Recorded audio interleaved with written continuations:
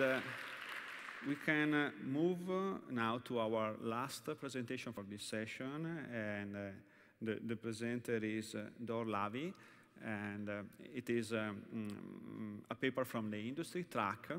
The title of the paper is um, Learning to Match Job Candidates Using Multilingual Bi-Encoder BERT. So thank you. The stage is yours. Thank you very much.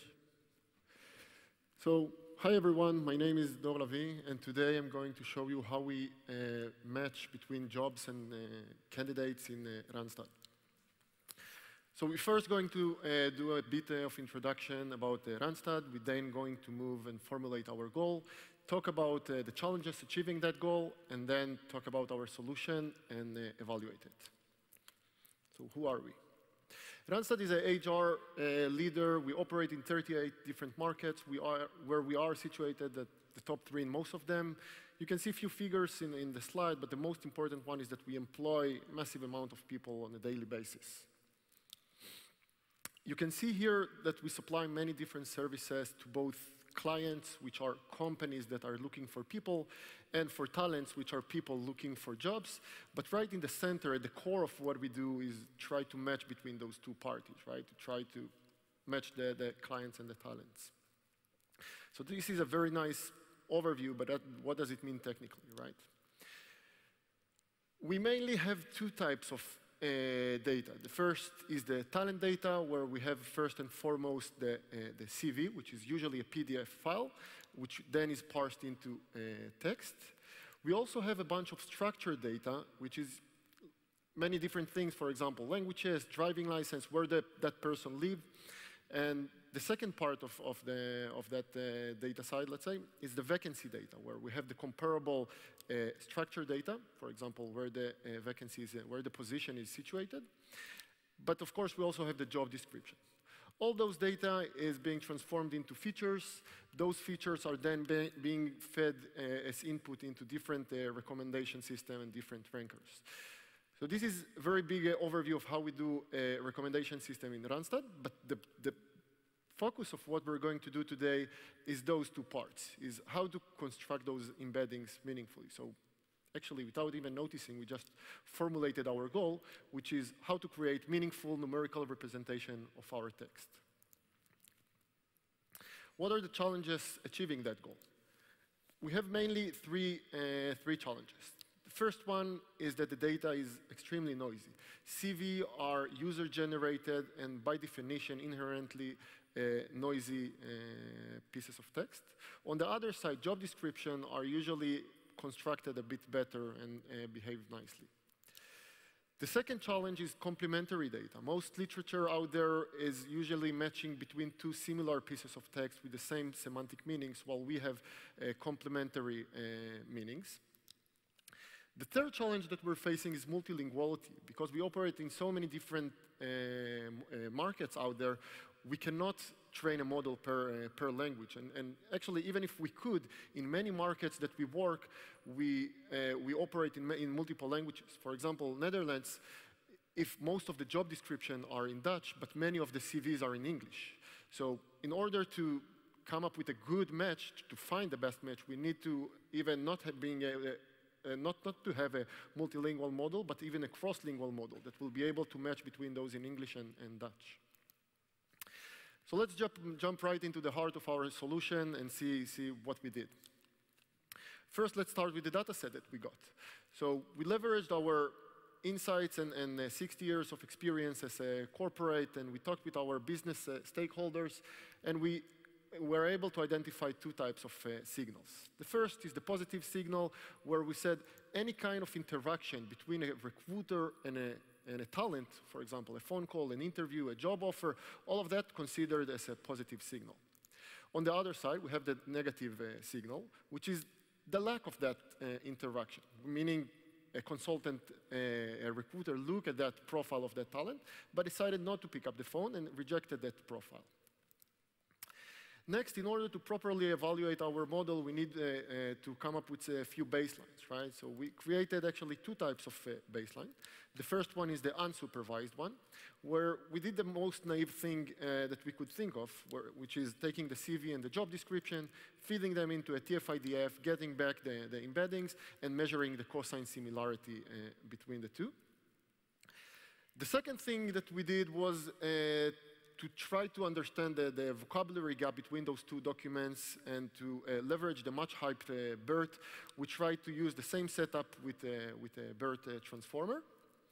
Second, we said maybe we can find a direct mapping between, or learn a direct mapping between the, the, the two, kind, the two documents, uh, which means that we did kind of the same, uh, the same setup, just instead of using cosine similarity, this time we uh, feeded the embeddings into a random forest, which those random forests were uh, trained on the dataset that I explained a slide ago. Next, and finally, I mean, I would like to show you our architecture and what we uh, decided to do. This is a multilingual BERT that is trained, uh, sorry, not trained, but fine-tuned in a bi-encoder way. It is uh, inspired by SBERT, actually where in our work we show that it can uh, we can effectively match between documents and not sentences, where this is uh, mainly what the BERT is uh, used for. And second is that we also able to match between two complementary pieces of text and not without the same semantic meaning.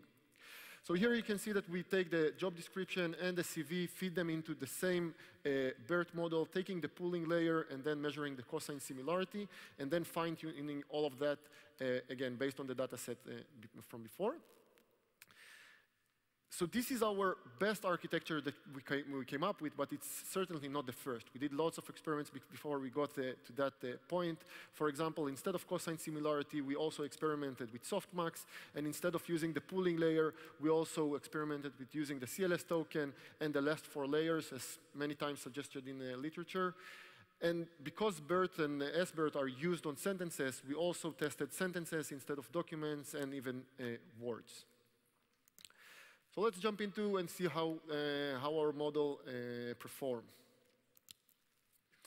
So here you can see the ROC AUC of the first two baselines, which is uh, uh, the BERT and the TF-IDF, and you can see that they get 0.53 and 0.57 uh, respectively, which is a bit higher than the 0.5 uh, random, right, minimum. And when we add the random forest to them, we see that the performance is better. We, get, we have a better performance of 0.69 and 0.71 for BERT and TF-IDF uh, respectively, but it's still not as high as our uh, architecture, which get 0.84 both for uh, with cosine and random forest. Of course, ROC AUC was our main metric, but we also uh, measured a bunch of other metrics, but they show similar pictures, so I won't uh, dwell into it. Another way to look at the results is to look at the distributions uh, of, uh, of, our uh, results, right? So you can see at the, at the left two columns, you see TF, IDF, and BERT, and you can see that, sorry, let's start with, with the, what the colors, because I, I, guess that you don't see them, but the, the blue one is, is the negative samples, the negative pairs, and the orange one is the positive uh, pairs. And you can see that the, the two left columns, the uh, TF, IDF, and BERT, find it very difficult to differentiate between those two uh, uh, distributions, right? Even, especially in the cosine, in the top row and in the bottom row, you see a bit of differentiation, but still uh, hardly. On the right column, on the other hand, you see a, a very nice uh, differentiation between the two uh, samples. Last way to, to look at the results is to look at a few examples. And, and here I would like to uh, show that on the left side we have few, uh, few sentences that represent uh, CVs. And at the bottom we have few sentences that represent job description. So the first row, first sentence, both in the left and at the bottom, is a, a warehouse or a logistic worker. And the second is a teacher. And the third and fourth rows are just the translation to Dutch of those uh, first and second uh, sentences. Two things that I would like to emphasize uh, in here is that if you look at the first sentence, both at the left and the bottom, is that at the left side we have a warehouse worker, while at the bottom we have a logistic worker, right? So it is the same position, it is the same role, but we introduce on purpose a word, uh, word uh, vocabulary gap, sorry. Second thing that I would like to emphasize is that with that kind of setup, we also uh, get to test uh, cross, uh, cross-linguality, right? In the first row, third cell, for example, we have a job description in Dutch and a CV in English. So as you can imagine, TF-IDF performed pretty poorly uh, in this setup. Uh, and that, that is because of that uh, vocabulary gap that, that we introduced. But our hope was that BERT will be able to achieve a bit better performance, which is kind of true, right? In the first cell, you see 0.57, so you see that we get some kind of a, a higher score uh, of the positive uh, pair of logistic worker. And, but on the, on the other hand, on the negative sample, on the first row, still on the first row, but second, uh, second column, you see still pretty high score of 0.49 between the teacher and the warehouse uh, worker, not to mention the third cell, which is the cross-lingual, which is even a lower score. With our, in our setup, you see this nice checkerboard where all the positive pairs have a higher score and all the, the negative samples have a much lower scores, both in, the, in the same language and cross-lingual. Um, and, and that's uh, achieving actually better performance uh, than, than what we saw before. So with that positive note, I would like to just thank you for listening, and I hope you enjoyed the talk just as much as I enjoyed working on it. If you have questions, this is my email, or you can reach out in the hall at the back. Thank you.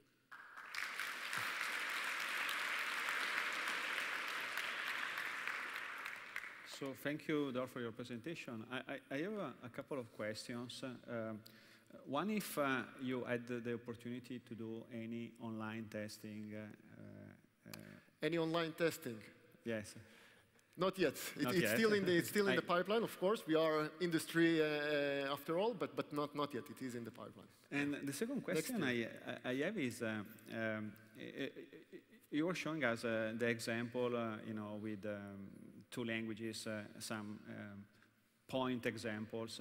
do you have also um, numbers like AUC or precision or recall, but um, tailored on a part of your um, users and CVs that are in different languages. So I, I, I, assume that the, the overall performance metrics that you did show were a kind of average over a wide data set. I was wondering how it performs, uh, the, the, different uh, algorithms perform when you are using, uh, let's say, data with the same language versus data with different languages. I don't know if you have these numbers. So, so we don't have it here, of course, but, but we did uh, check the performance, and, and not even on, on different languages, right? So uh, even on different types of roles. You can imagine that when you have customer service uh, kind of roles, and when you have logistic people roles, I mean, you, you also uh, have different performance sometimes. So we tested all of that, and yeah, the, the performance is, is better. Again, it's not perfect. We still always have place to improvement, but it is better uh, on, on all those uh, aspects. Well, thank oh. you. And I see we have uh, yeah. people in the audience. please. Yeah. Hi, very interesting talk. Thank you. So I was just wondering, do you take into account gender bias when you're trying to match CVs to job descriptions? Because, you know, it's a known fact that women tend not to apply to jobs uh, unless they tick all the boxes, and job descriptions, they tend to be a little bit over-optimistic. So how do you, how do you handle these situations? So, so it's a great question in, in general on, on bias and discrimination, right? We had a keynote yesterday exactly on that and on, on the fact that AI is very regulated and HR industry is very at the top for good reasons. In, it's out of the scope of, the, of this, this paper, uh, but, but we do have uh, monitoring and we do have lots of work around fairness on uh, gender, on nationality, on uh, age groups. And uh, yeah, maybe next year we'll uh, do another paper on that, but we, we do have work on it. It's just outside of the, but maybe inside, still inside of the scope of, of this, this paper is that using this cross-lingual model is something that we try to mitigate discrimination as well, right? Not, not gender uh, discrimination, but nationality discrimination, because you need to imagine that people that will submit their CV in English in Netherlands are usually comes from specific nationality. I mean, not specific nationality, but just not Dutch, uh, let's say. So. All right, great, thank you. Sure. And we have really many, many questions also from the online audience. I think we have time for two more questions, one from the uh, online audience and then uh, the last one from the, uh, uh sure. the audience here. So uh, one of the questions is, how did you deal with the token limit of BERT for long documents? So BERT got a 512 uh, tokens limit to those that are not aware. And then the question is, is, what do you do when it's longer? Um, so we tested, again, we tested the words and sentences just because of that, uh, that, that problem. Uh, at the end, we used uh, documents. Luckily for us, most of our documents fit into that, uh, that limit. And for those that do not fit, we do some pre-processing of finding the best 500 uh, tokens uh, for it. But yeah, but, yeah, but there are other approaches, but that's, that's what worked for us. Thanks. And we can take a, a last question.